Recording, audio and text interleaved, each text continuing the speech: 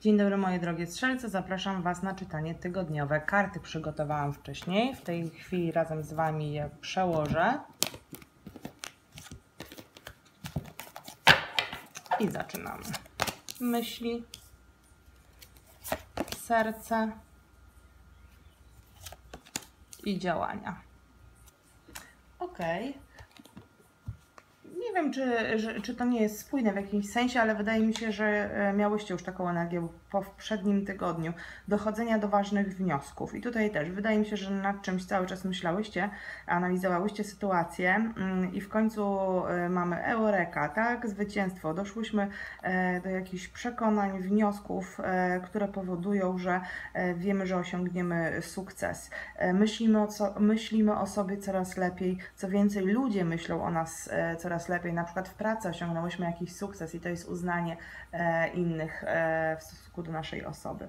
Więc e, niezależnie e, co analizowałyście, o czym myślałyście, to, e, to, to, to w dobrym kierunku to wszystko podąża. W dobrym kierunku to wszystko podąża i mm, dobre wieści są już w drodze, a w sercu coś Was zainspiruje, jakaś nowa, ekscytująca możliwość mm, pojawi się na Waszej drodze i Wasze serce będzie, będzie jakby mm, chciało w to wskoczyć.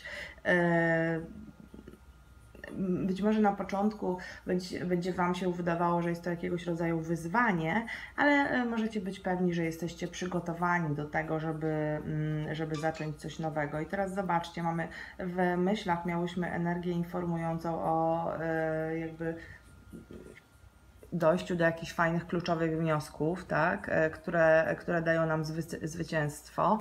E, w sercu chcemy coś robić, działać z sercem, wskoczyć w coś nowego, kto może, co może wydawać nam się wyzwaniem, natomiast mamy wszystkie jakby niezbędne atrybuty do tego, żeby temu podołać.